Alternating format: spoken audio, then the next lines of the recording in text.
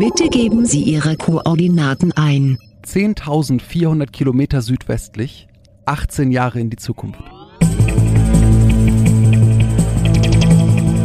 Wissensreisende. Hallo liebe Hörerinnen und Hörer, wir sind Jan, Und Chris? zwei Wissensreisende, die für euch durch Raum und Zeit reisen. Einmal pro Woche treffen wir uns dann hier im Cockpit unseres Raumzeitschiffs, um euch und uns von unseren Reisen zu berichten. Also Chris, wo sind wir gerade gelandet und was passiert heute so? Wir sind im Jahr 1965 angekommen, und zwar im Kongo. Es sind bewegte Zeiten, denn im Land ändert sich alles, als der Diktator Mobutu Sese Seko, auch als Joseph Mobutu bekannt, durch einen Putsch an die Macht kommt. Einen dieser Wandel möchte ich heute ein bisschen mehr beleuchten, und zwar einen sportlichen. Es geht heute um ein Thema, in dem sich unser Jan prinzipiell sehr viel besser auskennt als ich, nämlich das Wrestling. Okay. Weißt du schon, wo, wo, es, wo es hingeht? Nee. Dann freut es mich umso mehr. Wrestling wird im Kongo in den 60er Jahren schnell zu einer der beliebtesten Sportarten. Die Einheimischen lieben dieses Spektakel, denn nun können sie, nachdem die Kolonialzeit endlich weg ist, richtig so westlichen Lebensstil frei genießen und äh, feiern einfach dieses Spektakel total.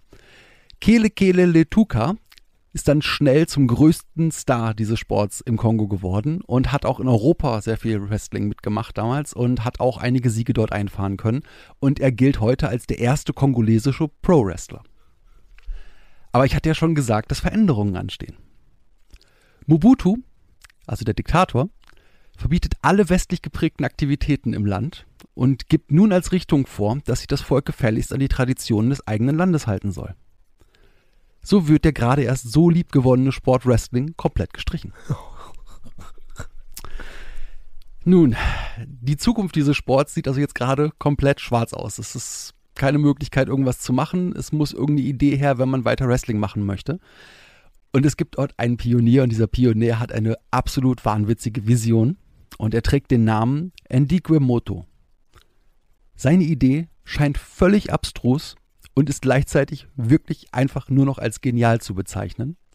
Denn er fragt sich, warum nicht Wrestling und Religion zu einem einzigen Event zusammenzuführen? Super! ja. Die Vision von Edingwe wird funktionieren, so viel kann ich schon verraten. Aber wir gehen erstmal darauf ein, was ist eigentlich die Religion im Kongo? Schauen wir uns mal offizielle Zahlen dazu an und dann finden wir dabei heraus, dass der Kongo ein überaus christliches Land ist. Rund 80 Prozent der Bevölkerung werden zu einer christlichen Religionsgemeinschaft gezählt. Nach diesen Schätzungen sind nur etwa 10 Prozent der Bevölkerung noch ähm, den alten Riten verhaftet und sind zu den indigenen Religionen zu rechnen. Aber was heißt das jetzt für unseren Sport? Profi-Catchen mit Kreuzen? Würgen mit Rosenkränzen? Kratzen mit Dornenkronen? Weit gefehlt. Wie in vielen afrikanischen Ländern schafften es auch im Kongo die alten Riten ganz passabel neben dem Christentum weiter zu existieren. So dreht sich die Glaubenswelt auch um Geister und Dämonen, die den Menschen helfen können oder vor denen es sich zu schützen gilt. Diese Urreligion im Kongo heißt der Fetisch. In unserer Popkultur ist die Religion unter einem ganz anderen Namen bekannt, nämlich dem Voodoo. Oh. Bringt man nun Voodoo und Wrestling zusammen, entsteht das, was es nur im Kongo gibt und was in dem Kongo tatsächlich seit den 70ern offiziell die Nationalsportart ist, nämlich das Catch Fetisch. Kannst, kennst du das schon? Hast du schon mal vom Catch Fetisch- Catch Fetisch gehört? Nein. Unter den Kongolesen ist klar, dass es ohne Edingwes tolle Vision keine Rettung für das geliebte Catchen gegeben hätte. Und was er für eine Show daraus gezaubert hat, ist schlichtweg atemberaubend. Noch heute erinnern sich die Menschen an schaurige Ereignisse im Ring. Indikwe riss seinen Gegnern durch die Bauchdecke hindurch die Eingeweide heraus und aß sie auf. Er ließ Haare, aus seinen Haaren Rauch aufsteigen und er trank das Blut seiner Gegner. Dabei schaffte er es auch immer wieder, seine Gegner hinfortzufegen, ohne sie zu berühren. Es gibt auch Filmaufnahmen aus den 70ern von ihm, von Kämpfen von ihm, wo er dann aus dem Ring geführt wird von ganz vielen Leuten, die ihn halt festhalten. Und er macht halt nur einen, einen Wutschrei und nimmt die Arme nach außen und es fliegen 15 Leute um ihn drumherum in alle Richtungen. Es sieht wirklich filmreif aus. Es ist fantastisch. Das Catch Fetisch hat viel mit dem US-amerikanischen Catchen gemein. So gibt es eine Dachorganisation, die den Sport lenkt und betreut. Und die Kämpfe folgen vorher einstudierten Choreografien. Aber dazu kommen Handlungen und Rituale aus dem Fetisch. Denn diese muss jeder Kämpfer in seinem Repertoire bereithalten. Es war ja damals verboten, eine westliche Sportart zu haben. Dementsprechend, das ist jetzt Tradition und das gehört jetzt dazu. Jeder muss irgendwo auch seinen magischen Teil drauf haben. Und ähm, jetzt habe ich gerade die Kämpfer gesagt. Damit tue ich eigentlich den Frauen in diesem Sport fürchterliches Unrecht, Mhm. denn Männer und Frauen kämpfen in diesem Sport gleichberechtigt. Ja? Okay. Also es gibt, da wird da kein Unterschied gemacht, dass es irgendwie weibliche Kämpferinnen und männliche Kämpfer gibt als einzelne Ligen, sondern nein, die sind gleichberechtigt in dem Sport vorhanden. Athletisch können sich die afrikanischen Wrestling-Profis absolut mit ihren amerikanischen Kollegen messen. Auch wenn sie unter wesentlich schlechteren Bedingungen trainieren müssen. Die Bevölkerung im Kongo ist nach wie vor recht arm. Und auch wenn es im Wrestling Profis gibt, also Menschen, die den Lebensunterhalt mit ihrer sportlichen Arbeit verdienen, heißt es bei Weitem nicht, dass die reich sind. Ja, so werden die Trainingsgeräte meistens selbst gebaut und der Trainingsring ist häufig der nackte Lehmboden hinter dem Haus. Oh, Autschen. Das, was die Kämpfer allerdings für sich gewinnen, ist hohes Ansehen. Sie sind echte Helden. Fast schon so etwas wie mystische Wesen, denn man stellt sich besser gut mit ihnen. Schließlich weiß man nicht, was sonst mit einem passieren kann. Wenn es dann in Kinshasa Frühling wird, bereiten sich alle Wrestler der Stadt auf das größte Catch-Event des Jahres vor, das am Federation Day stattfindet. Und dort gibt es das größtmögliche Publikum und dort ist die Möglichkeit, sich von der besten Seite zu zeigen. Denn in allen Stadtvierteln gibt es eigene Ligen sozusagen. Es gibt Champions in allen Ecken der Stadt und dort treffen alle zusammen, um halt den Champion der Champions zu krönen. Catch Fetisch ist ein buntes, wenngleich auch immer blutiges Spektakel, bei denen es jeden von den Plätzen reißt. Oft werden die Kämpfe so inszeniert, dass alte traditionelle Überlieferungen und Geschichten im Ring neu interpretiert werden. Auch viele mythische Gegenstände werden mit in den Ring oder an den Ring mitgebracht. Oft traditionelle, meistens aber auch ebenso kreative Neuschöpfungen. Es werden auch immer wieder neue Sagen erfunden und so das weiter. klingt dafür. super. Von den Regeln her ist es mit dem, mit dem westlichen Catchen wieder sehr gleich. Wer es schafft, den Gegner drei Sekunden am Boden festzumachen oder ihn auf den Boden zu bringen, dass er dort selber nicht mehr wieder hochkommt, gewinnt die Runde. Manchmal muss der Gegner bei diesem Sport dafür nicht einmal berührt werden. Nun werden viele sagen, sowas habe ich auch schon gesehen, das gab es doch auch schon mal irgendwie im amerikanischen Wrestling, irgendwie hier so ein Voodoo-Kram und so weiter. Ja, jetzt wisst ihr aber, wo das herkommt. ja, denn wir dürfen nicht vergessen, die machen das schon seit den 60ern. Das ist nichts, was die sich irgendwo abgeguckt haben, sondern das ist schon eine sehr eigene, sehr selbst entwickelte Sportart. Also der Voodoo-Priester, der mal in einer der größten amerikanischen Ligen rumgelaufen ist, den habe ich auch gerade vor Augen gehabt. Und ja, das, okay. Jetzt muss man sich aber noch den Impact vorstellen, wenn jeder im Publikum den kompletten kulturellen Background hat und deswegen schon, wenn ein bestimmter Gegenstand gezeigt wird oder eine bestimmte Pose auch nur eingenommen wird, er weiß, worum es jetzt gleich geht und was jetzt gleich kommen wird. Ja? Mhm. Also das ist, äh, ist wirklich ein ganz, ganz anderes Ding. Und ähm, ja, schauen wir uns doch nochmal so ein paar Wrestler an und ihre Stories drumherum, um uns auch so ein bisschen mehr an diesen ungewöhnlichen Sport heranzuwagen. Da gibt es zum Beispiel den Champion von West Kinshasa.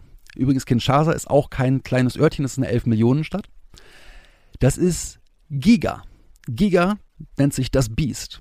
Sieht aus wie ein klassischer Wrestler, sehr athletisch und austrainiert, allerdings ohne aufgeblasene Bodybuilder-Muskeln. Das haben die alle nicht, aber die sind alle komplett durchgestellt und wahrscheinlich können die so im Gewichtheben durchaus mit den amerikanischen Profis mitkommen, müssen aber ihre eigenen Muskeln dabei nicht tragen. Gia ist den traditionellen Weg gegangen und hat klassisches griechisch-römisches Ringen gelernt und das schon als Kind. Und er sagt auch, hat das schon immer gelebt, denn seine älteren Brüder haben diese Kunst bereits ausgeführt und er hat das schon als kleines Kind beobachtet und von Anfang an mitgemacht. Und er sagt, ohne griechisch-römisches Ringen kannst du diesen Sport auch einfach nicht ausführen. Du musst ja schließlich auch die athletischen Grundzüge kennen. Und natürlich hätte auch er ohne den Fetisch in diesem Sport keine Chance. Denn das ist ein integraler Bestandteil der Vorführung und kann nicht umgangen werden. Gia stehen während seiner Kämpfe zwei bis vier Geister zur Verfügung, die ihm beistehen.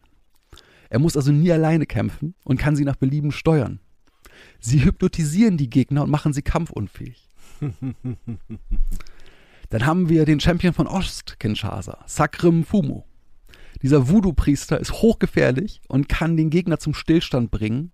Ja, er kann sogar die Zeit im Ring und auch direkt am Ring zum Stillstand bringen, verlangsamen oder sogar umkehren. Ich würde mir das übrigens sofort angucken, weißt du was? Ich würde mir die Show sofort angucken. Ah. Die Champions des Stadtteils Messina sind die Zwillinge Bankakan Simba Lipasa und Bankakan Susi Limpasa. Diese beiden zählen als ein Wrestler. Bei ihnen sind die Rollen klar geteilt und sie ergeben zusammen den wohl komplettesten kongolesischen Wrestler. Nsuzi berührt seine Gegner niemals, sondern greift die Gegner ausschließlich mit Fetischmagie an. Bei seinem Bruder Simba ist es genau andersherum. Er kämpft sehr gekonnt und künstlerisch anspruchsvoll.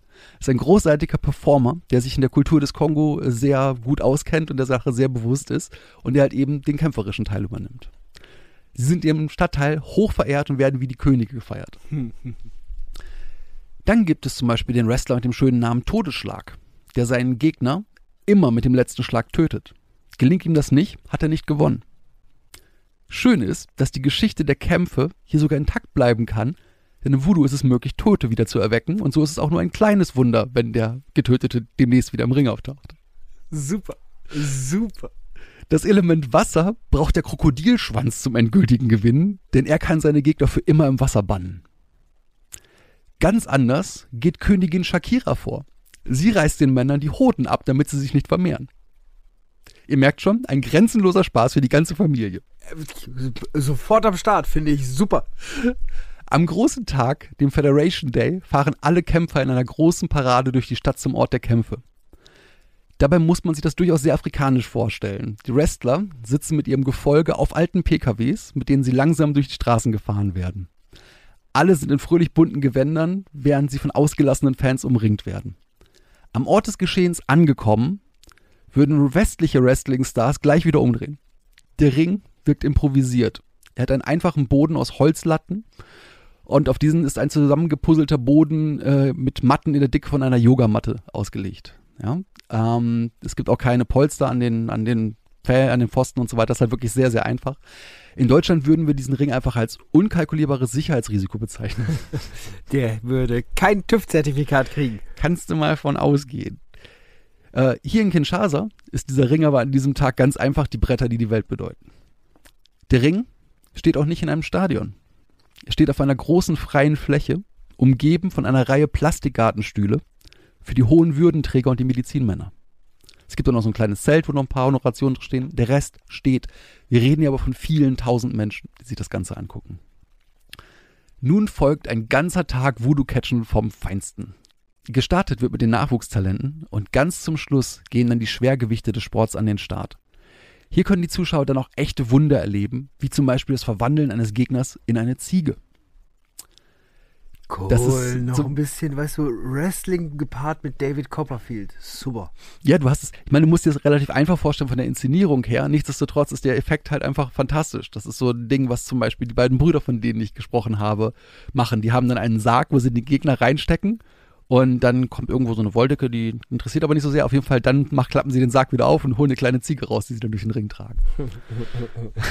ich kann auf jeden Fall dir und euch da draußen ganz, ganz, ganz dringend empfehlen, mal diesen, diese Phrase Katsch Fetisch, die findet ihr im, im Episodentitel, mal einzugeben und mal euch das Ganze anzuschauen. Das ist wirklich etwas, das ist komplett einzigartig. Das ist viel variantenreicher, als ihr euch das jetzt gerade vorstellen könnt. Und ich muss sagen, das steht auch dem, dem wirklich groß inszenierten Millionengeschäft amerikanischen oder Milliardengeschäft amerikanischen Profi-Wrestling in nichts nach, was das Entertainment angeht, denn es ist einfach unglaublich spannend, was für Charaktere du herausbilden kannst, wenn jeder Kämpfer auch noch eine magische Seite dabei hat. Mhm.